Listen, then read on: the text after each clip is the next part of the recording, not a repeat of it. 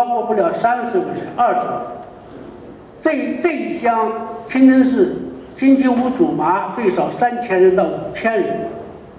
满马路上都铺上席。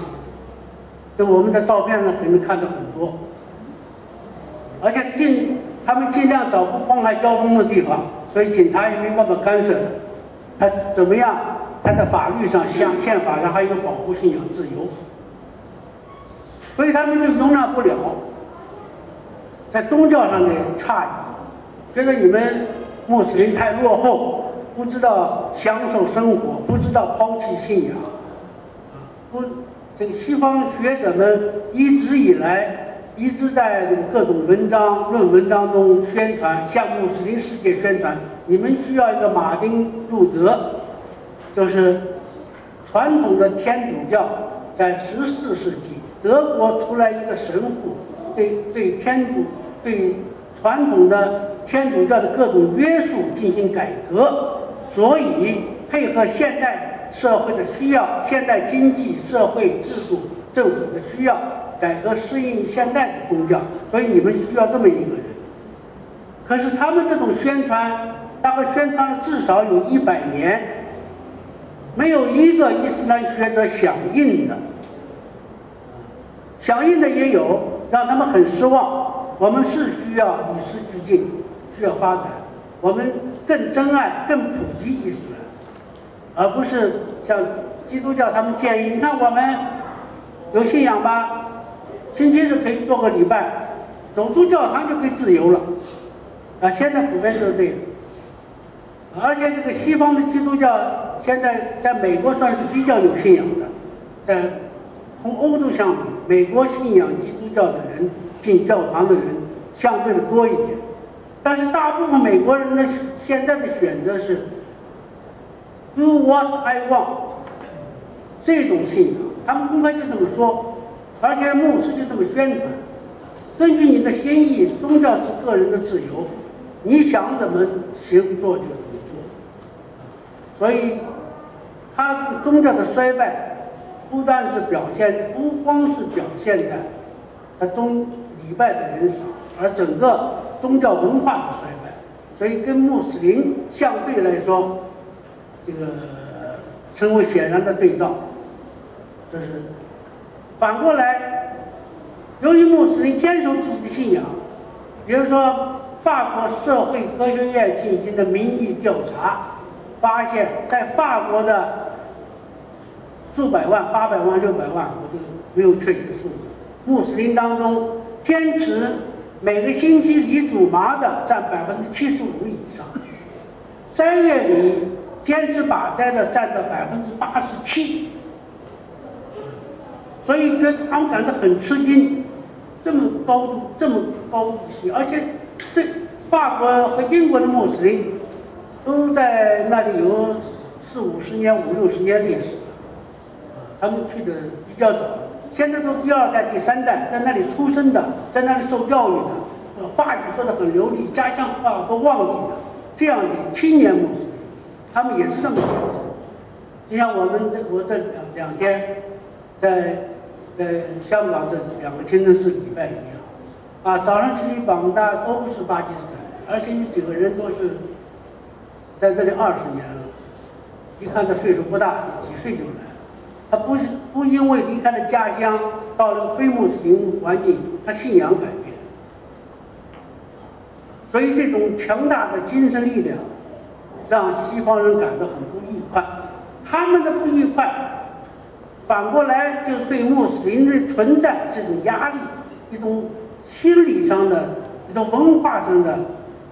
不喜欢、厌恶，还提不到歧视，厌恶，让让你感到一个冷眼，让你感觉这种人啊无事生非在这里，啊，这是所以第一个突出的问题。第二个问题。这个穆斯林在西方社会发现了一种新、一种过去不可思议的社会，一切为了个人主义、个人享受，啊，没有道德底线。整个社会的活动，啊，从政府到学教育，到整个市场，一切地方人人都为了个人的利益在奔忙。而穆斯林所教育我们的，伊斯兰教育我们全世界的穆斯林，我们一切都要有善良的举意，我为了好的目的做这件事，这是截然不同的文化冲突。在西方社会，以鼓励个人主义、个人利益，我的动机就是要不择手段的赚钱，啊，把钱赚到为目的，所以这里面就要产生很多的。腐败、欺诈、不择手段、不可不计后果啊！我做的东西只要能卖钱，你拿去杀人也好，你吸毒也好啊，你破坏家庭也好，你杀人放火我都不管。我只要我赚到钱，我只要他西方人的概念里面只受法律的约束，我不要越过法律的界限进监狱，我就敢做。至于道德问题跟我无关。这跟伊斯受过伊斯兰文化熏陶和教育的穆斯林观念从本质上就不一样。啊，这件事不好，我的尽管这些事情一做出来对大家好处不大，但是他的动机他不能伤害人，这是基伊斯兰基本观念。我们贵圣人留下的圣训数千数，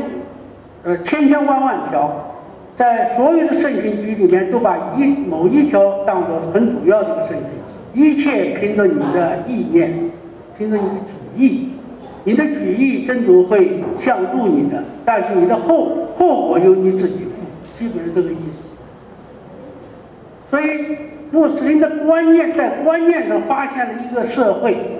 他们经济很发达，商业很繁荣，物质很丰富，但人心都不端正。这种人不好相处。你比如说，一个穆斯林要跟一个当地人去啊做生意合作，或者是投资买个股票，你发现他这个动机很坏嘛？我怎么能跟他在一起工作呢？啊，他这个出来的效果，别人死东西啊，他这个假冒伪劣，呃，他这个这个坑蒙拐骗的商品不能上市，可是这个这个。西方的朋友有合作伙伴，我们能赚钱就可以了嘛？你管那干什么？所以这个这就发生了思想的冲突。这个西方的观念，除了这个动机方面，还有一个道德的准则问题。西方现在所鼓吹的人权。它本质上是有问，在穆斯林看来是有问题的，因为它的起出发点是维护个人主义，它叫做反传统的道德，就是过去他们也有传统，在五百年前宗教势力强大的时候，他有他他们宗教约束很大。比如说家庭观念呐，孝顺父母啊，啊，这个为社区服务啊，这个辛辛苦苦为社会大众多多做些公益事业，他们有这种观念。可是这个欧洲革命，欧洲的工业革命以后，新的思潮我觉得是个人，以人的生理需要、生理的愉快。为选择标准，不知道大家是不是明白我的意思？我是不是说清楚了？也就是说，人是不是得到自由？他是不是个人愉快，而不计较他对家庭的责任、对社会的责任啊，对整个社会会造成什么影响？所谓的人保护人权，它是保护个人的肉肉体上的欲望的满足。而不是对社会的责任，这是一个同伊斯兰的文化冲突的另外一个方面。比方说，对家庭问题，作为穆斯林，你当当你是儿女的时候，在家里没有成长，成人的你要尊敬父母。